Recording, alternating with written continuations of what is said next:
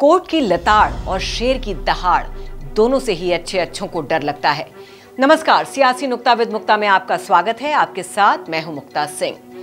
आम आदमी पार्टी के राज्यसभा सांसद संजय सिंह एक सौ इक्यासी दिन बाद जेल से बाहर आए हैं तो आम आदमी पार्टी के कार्यकर्ता जश्न मना रहे हैं। संजय सिंह के लिए पोस्टर लगा रहे हैं कि शेर बाहर आ गया, लेकिन अब शायद संजय सिंह छह महीने पहले वाले शेर की तरह दहाड़ नहीं पाएँगे।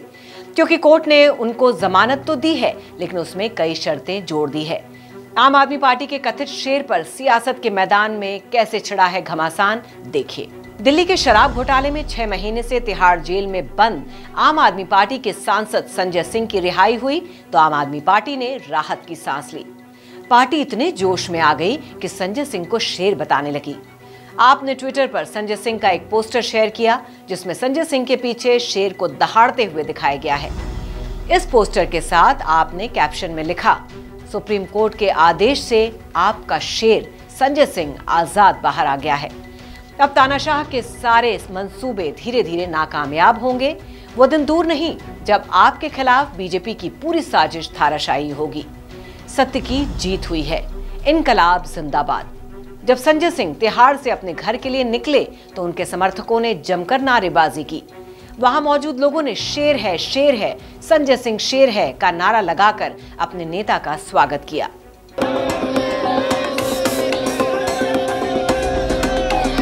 संजय सिंह को जमानत उस समय मिली है जब पार्टी के सबसे बड़े नेता, दिल्ली के मुख्यमंत्री और आम आदमी पार्टी के राष्ट्रीय संयोजक अरविंद केजरीवाल जेल में हैं। उसी तिहाड़ जेल में, जिसमें संजय सिंह छह महीने से बंद थे। संजय सिंह को जमानत मिलने पर आम आदमी पार्टी में खुशी की ज़बरदस्त लहर देखी जा रही है। पूरी आम आदमी पार्टी ने संजय सिंह को शेर बताया है। सियासत नैरेटिव और परसेप्शन बनाने का खेल होता है। आम आदमी पार्टी शराब घोटाले में चल रही कानूनी प्रक्रिया से भली भांति वाकिफ है। उसे बहुत अच्छे से पता है कि संजय सिंह को जमानत मिली है तो उसके क्या मायने हैं? लेकिन संजय सिंह की जमानत को पार्टी सियासी तौर पर भुनाना चाहती है।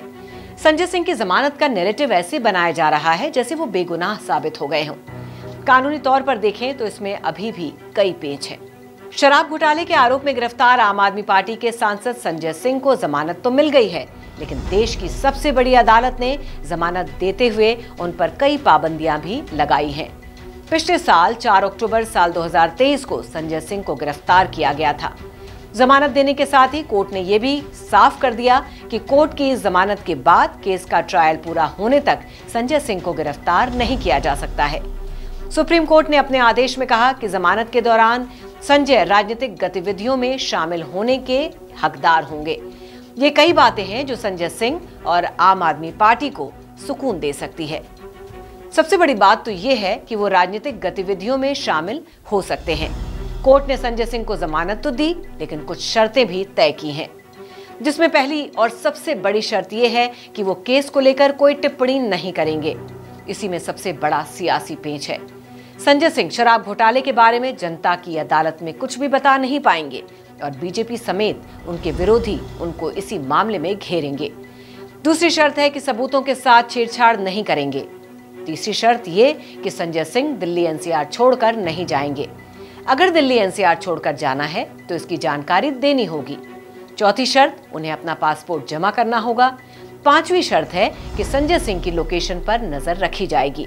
और छठवीं शर्त है कि उन्हें शराब घोटाले में की जा रही जाँच में सहयोग करना होगा। आमतौर पर भ्रष्टाचार के मामले में जमानत मिलने पर किसी को भी इन शर्तों का सामना करना पड़ता है।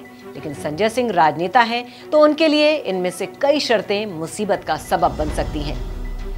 संजय सिंह को जमानत मिलने पर आम आदमी पार्टी में तो मानो जान लौट आई है। संजय सिंह शेर की तरह दहाड़ेंगे, उसका तो अभी इंतज़ार है। लेकिन आम आदमी पार्टी के नेता बीजेपी पर दहाड़ने लगे हैं। सुप्रीम कोर्ट की तीन जजों की बेंच ने ईडी को चेतावनी दी। उन्होंने कहा कि अगर आप इस जमानत का विरोध करोगे तो हम इस पे फैसला लिखेंगे। मेरिट्स पे, फैक्ट्स पे लिखेंगे। और फैक्ट्स आपके विरोध में हैं। संजय सिंह के खिलाफ कोई भी सबूत आपने नहीं दिया, ना पैसे का सबूत दिया। किसी आदमी ने नौ बार गवाही दी, संजय सिंह के बारे में नहीं कहा। दसवीं गवाही में आपने उस पर दबाव डाल के उससे कुछ कहलवा दिया तो कोर्ट ने कहा यह कैसे हो सकता है? इसलिए ईडी ने लंच के बाद केंद्र सरकार से बात करके कहा कि हम इसका विरोध नहीं करेंगे, क्योंकि अगर विरोध करते और कोर्ट जमानत देती, जैसा कि कोर्ट ने पहले ही कह दिया था तो ये पूरा का पूरा केस जो है, हवा में उड़ जाता, पूरा का पूरा केस ही खत्म हो जाता। इसलिए सिर्फ़ अपनी इज़्ज़त और इस केस को चलाए रखने के लिए ईडी ने उनकी जमानत पे सरेंडर कर दिया। संजय सिंह को जमानत मिलने पर विपक्ष के नेता भी हुंकार भर रहे हैं। अखिलेश यादव तो कह रहे हैं, जिस तरह आम आदमी पार्टी के सांसद संजय सिंह को राहत मिली है, उसी तरह से अरविंद केजरीवाल और हेमंत सोरेन को भी न्याय मिलना चाहिए। अखिलेश इन गिरफ्तारियों को पूरी दुनिया में भारत की बदनामी बता रहे हैं। हमें उम्मीद है जिस तरीके से संजय सिंह को राहत मिली है सुप्रीम कोर्ट से, अरविंद केजरीवाल जी को भी न्याय मिलेगा, हेमंत सोरेन जी को भी न्याय मिलेगा। भारतीय जनता पार्टी की पूरी दुनिया में थूथू हो रही है, बदनामी हो रही है। अब भारतीय जनता पार्टी घबराई हुई है, वो हारने जा रही है। ऐसा दल जो ये नारा दे रहा हो कि 400 पार, उसको किस बात की घबराहट है? कि उनको धोखा दिया है? जिन लोगों ने झूठ बोला है, उनको सबक जनता इस बार सिखाएगी। संजय सिंह को जमानत मिलने के बाद आम आदमी पार्टी और उनके साथी भले ही जश्न मना रहे हैं, लेकिन ये उनको अभी भ्रष्टाचार के मामले में बेदाग होने का सबूत नहीं मिला है। अभी पार्टी के बड़े नेताओं समेत कोई भी इस मामले में बरी नहीं हुआ है। बीजेपी कह रही है कि संजय सिंह की जमानत पर आम आदमी पार्टी और विपक्ष को बहुत इतराने इठलाने की ज़रूरत नहीं है। देश का न्यायालय सर्वोत्तम है और देश का न्यायालय स्वतंत्र है। लेकिन दुर्भाग्य है, आम आदमी के पार्टी के नेता जब तो उनको सूट करता है, तब तो न्यायालय के निर्णय का स्वागत भी करते हैं, ढोल भी बजाते हैं और मिठाई भी बांटते हैं और बाद में उसको क्रिटिसाइज करते हैं। और ये स्वतंत्रता आंदोलन से छूट कर नहीं आए। शराब घोटाले में धोखाधड़ी जालसाजी व भ्रष्टाचार के केस में जमानत पर आए हैं। ढोल बजाने और मिठाइयाँ बांटने वाले, ये ध्यान रखें कि भ्रष्टाचार, धोखाधड़ी व जालसाजी दिल्ली के लोगों के साथ करने वाले ये आम आदमी पार्टी के नेता चुनाव सिर पर है। जमानत मिलने के बाद संजय सिंह अपनी पार्टी और विपक्ष में कितना जोश भर पाते हैं, इस पर सभी की निगाहें लगी हुई हैं। इस मामले में लालू यादव की जमानत का ज़िक्र ज़रूरी है। जिनको जमानत मिलने के बाद उनकी पार्टी में नया जोश आ गया। लालू यादव पर कई बार जमानत की शर्तें तोड़ने का आरोप भी लगा।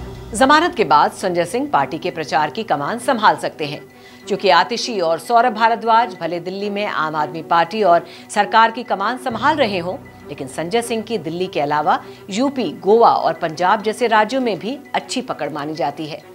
आम आदमी पार्टी जिसे शेर कह रही है, उसकी दहाड़ चुनाव में कितना दम दिखा पाती है, इस पर हमारी नज़र बनी रहेगी। तो सियासी नुक्ता विद मुक्ता में आज के लिए बस इतना ही। बाकी खबरों के लिए देखते रहिए श्रेष्ठ भारत।